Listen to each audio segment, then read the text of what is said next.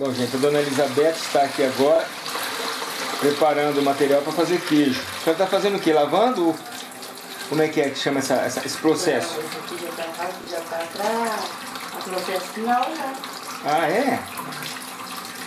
Já tirou o soro, agora já tá pondo o tecido pra poder drenar, pra poder sair, sair os queijinhos. Esse soro é que vai para porco, né? Isso. Porco, galinha, bezerro. Enfim, não perde, né, dona Elizabeth? Não perde, né? Esse soro aí, pra quem tem tempo pra fazer, ou tem gente pra ajudar no caso, Ah, esse soro aí você tira uma manteiga, fervilha, mas tem manteiga do soro. soro. Madalena, vamos mudar pra cá pra nós fazer manteiga do soro? Cadê a Madalena? A Madalena tá namorando o menininho lá. É, ela ama. Ela ama. Criança é com a gente mesmo. Nós somos avós já por cinco vezes. Cinco netinhos. E lá em casa agora veio dois numa pancada só. O menininho e a menininha. Gêmeozinho. Olha pra você, minha filha rebolava, hein? Ai, que fartura, gente, que beleza. Dona Elizabeth, aquele lá que é o chamado sal de vaca, É. é um sal especial, né? Ele é especial, esse sal tem pouco iodo. Aqui, ó. ó. O leite transformou na coalhada. Não é esse que, que a gente chama de... A minha avó fazia muito isso aí pra comer com farinha. Ah, é que ela fazia, deixava coalhar natural, né? É, a coalhada Aí na- fica zedinho. Isso, E aí é. coalhar natural. Esse sal de vaca aqui tem pouco iodo. Geralmente esse sal aqui é o sal bom da gente usar na cozinha. É, eu ouvi falar... Faz pouco tempo que eu aprendi a respeito do sal de vaca. Que é o melhor sal que tem pro alimento. Que o- é, é pouco iodo mesmo. Geral, geralmente tem até no, no vídeo do. Tem, eu- Eles- então, e foi num vídeo que eu vi mesmo sobre É, isso. Eles falam que o, Aquele sal branco nós cortamos de casa já. o sal de saquinho. Sal cisne, eu tô falando aqui o nome sem medo. Sal cisne eu não uso mais na minha casa não. Então, mas é esse sal que é o sal bom. E outro, você compra, só que tem que ser o sem sal, porque ele é um sal fininho, como se fosse o, o sem sal. Ah, E, e, ele, e ele contém pouco iodo. Aqui, ó. Ó, Como que ele é fininho? Ah, então ele é quase como um açúcar refinado. Isso, isso. Só que ele tem pouco iodo. O segredo tá aí, né? Esse aqui tá aqui. E outra, um saco de sal daquele de um quilo, você vai pagar quase um real, um real tanto. É mais, né? Hoje tá mais. É. E esse aí, você compra um saco de 25 quilos, tá pagando. Depende de quantia, mas tá em torno de 13 a 15 reais. 25 quilos. 25 quilos. É que no caso da senhora, a senhora gasta bastante, né? É, mas a gente Então consome mais, né? bastante produto- da- da- do que o gado também lambe muito sal nessa época. O gado, né? O gado. E eu não gosto de pôr sal ruim que o gado lambe. Eu gosto de conhecer sal Porque daí o leite também vai vir bom, né? É, e outra, o gado também precisa comer alimento bom. E você compra aquele sal ruim, ele tem um negócio junto com o sal, parece um calcário, um negócio estranho. Então aí o gado fica- fica cheirando ruim aquele sal. Então ele acaba sendo obrigado a lamber aquilo. Eu não gosto. Ah, entendi. Então eu já compro. Bom, aproveitando que eu estou aqui com a dona Elizabeth, a dona Elizabeth tá dando essa explicação. Vocês que têm comido do queijo que eu levei dela, que estava elogiando muito o queijo para mim esses dias, aí o segredo que ela está falando.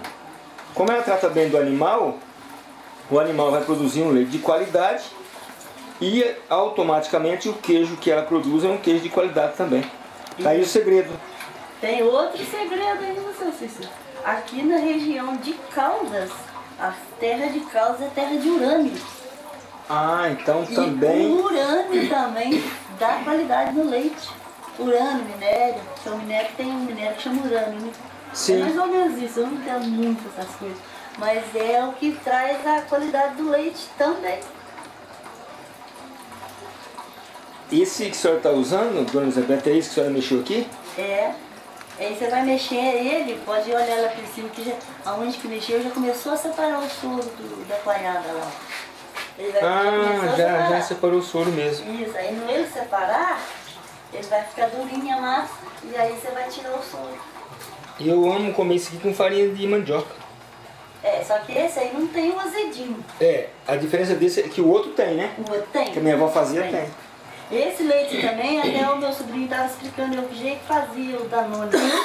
Mas fica um Danone maravilhoso, natural. Só que aí ele vai um processo, assim, tipo 10 horas mais ou menos, pra você conseguir fazer. Mas compensa, né? Ah, compensa. Você compra um copinho de iogurte natural. Sei, aquele copinho mistura com. É, aí tem. Eu não peguei a receita certinha, porque ele falou, mas eu não notei. Ele faz. Você pega um copinho daquele lá, dá pra você fazer 8 a 10 litros de leite em iogurte. Olha só. E fica muito bom ele falou. Muito. Bom, Agora- pessoal, na verdade hoje eu vim aqui na casa da dona Elizabeth, logicamente para vê-la, né? Trazer aqui para o material que vocês viram que eu mostrei ali. Mas eu não esperava pegar esse processo que ela está fazendo aqui não, ó. Aí é, é onde eu falo, tem alguns que vê o vídeo e às vezes até acaba me criticando, mas veja, olha o trabalho que ela está tendo, olha o carinho, o capricho. Aí passa um camaradinha com um carro aqui e fala assim, a senhora não vende esse queijo por 5 reais a peça? Gente, pelo amor de Deus, tenha misericórdia, por isso nosso país não funciona. Ela tem que cobrar o preço justo. Aí o cara quer pegar um queijo desse aí por 5, que aí na cidade vender por 35, 40 reais a peça. É uma insensatez, né? Eu sei que tem muitos que poderão até me criticar, mas me perdoe a sinceridade. Olha o trabalho que ela tem, a limpeza que ela está tendo aqui, o capricho, o leite que ela falou, que até no sal ela, ela faz questão de, de saber escolher. Se você vem comprar um queijo aqui para revender, por favor, você tem seu direito de, gastar, de ganhar também, mas não é assim não. Com justiça, Deus abençoa a todos nós. Agora está colocando já direto na forma, dona.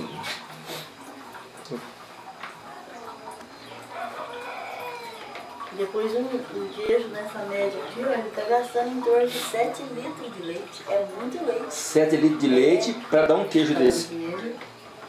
Então é muito leite. Na realidade, se for pra você analisar o leite na cidade, o leite para fazer o queijo, é muito. É muita diferença. Você vai pagar quase 3 reais um litro de leite na cidade, Sim. né? Ou até mais. 7 de vezes leite. 3, 21. Já dá 21 reais, você vende um queijo desse, ele sai bem mais em conta. Tá pronto o queijinho. Bom, o que a senhora vai fazer agora, eu vou pegar do início, porque senão eu estava conversando eu não peguei. Então a senhora vai tirando o soro, tirando o soro cada vez mais.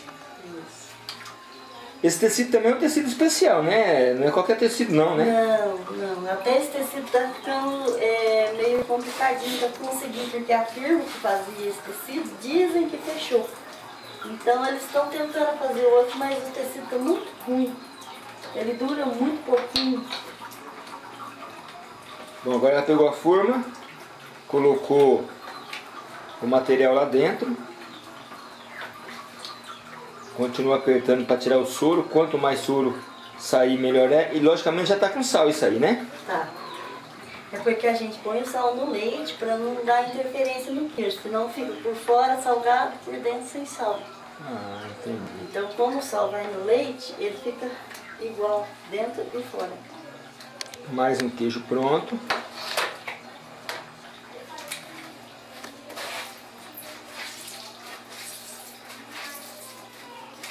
Bom, eu já sei que pela prática a senhora faz há muitos anos, né? A senhora aprendeu com quem? Ah, tal qual os pais e tal qual os filhos. Ah, entendi. Que às vezes a pessoa aprende assim com alguém Isso. fora da, fora eu da aprendi família. com uma pessoa muito especial, que é minha mãe, que graças a Deus tem até hoje. Minha mãe já está bem idosinha, já 83 anos. Meu pai 88 anos. Inclusive, essa banquinha de granito aqui, ó, que é uma banquinha muito especial, foi eles que deixaram pra mim. Ah, tá. Que ela tá com uma madeirinha aqui, mas aqui só pra cercar o soro, que escapou a beirinha aí. Aí eu quero colar, eh, comprar a beirinha ali, mas eu comprei, o rapaz me fez certo. Mas nem- a madeira pode ligar, né? Porque é só provisório.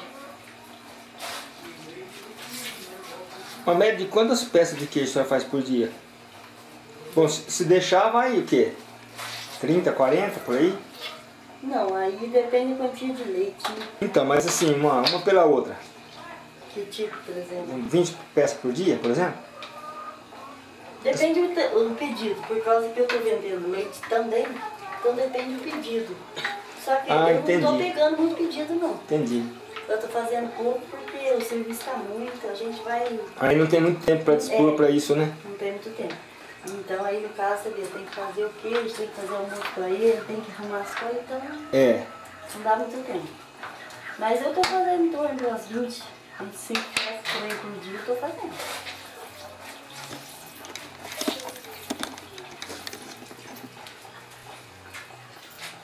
É, não é à toa que a pessoa da roça tem saúde, né? Olha a força que ela tá fazendo aí para tirar essa, esse soro. Isso tudo aí é saúde. As mulheres hoje nem usam mais bater roupa no batedor na roça. Já tem as máquinas de, de lavar roupa tudo na roça, tanquinho. Olha que gracinha de queijo que sai.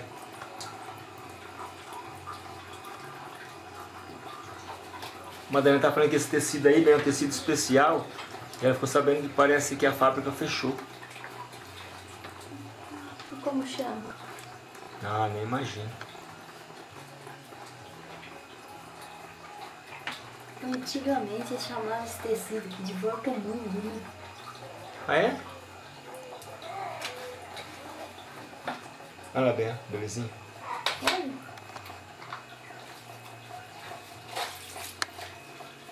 Puxa vida, hein? Delícia, hein?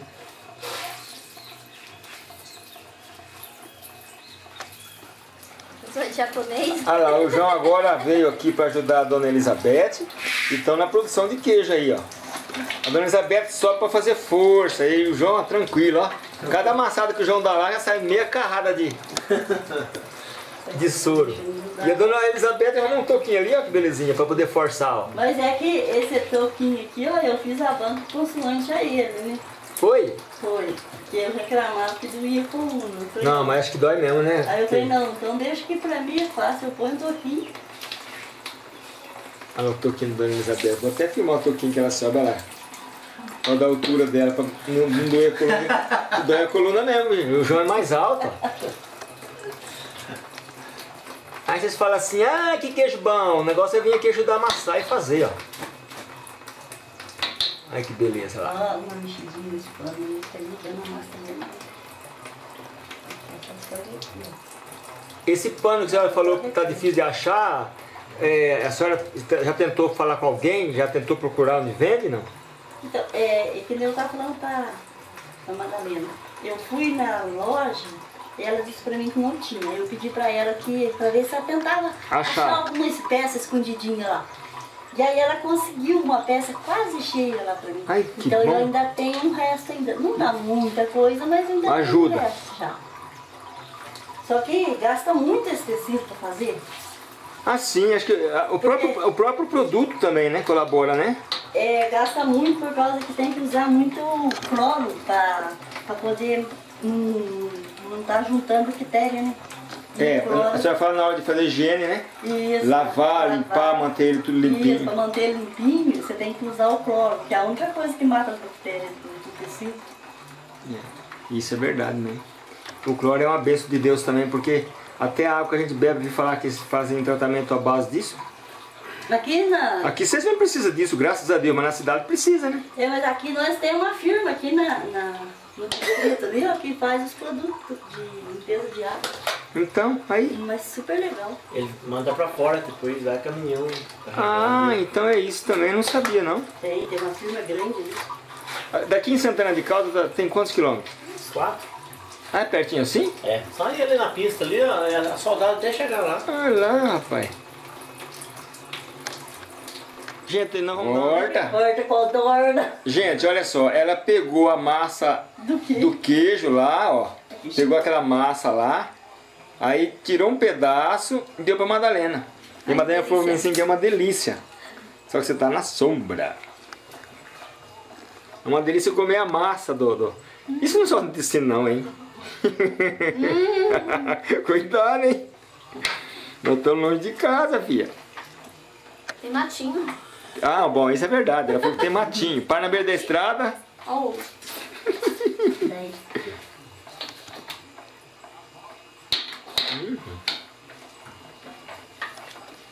Gente do céu, é leve mesmo.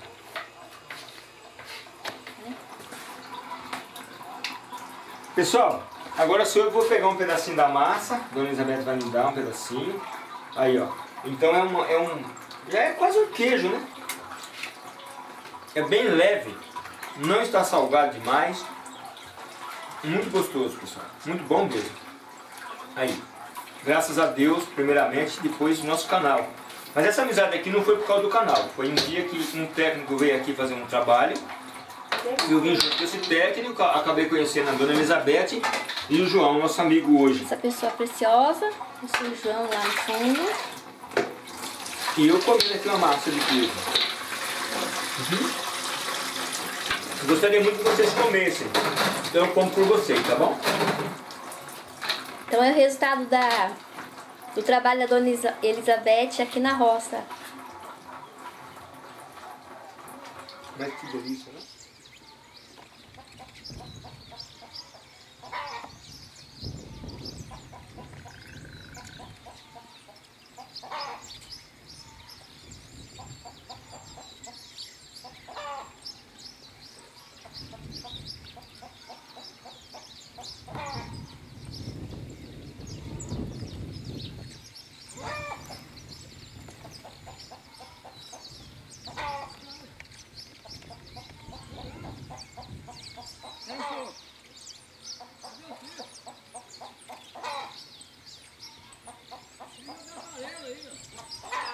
먹어.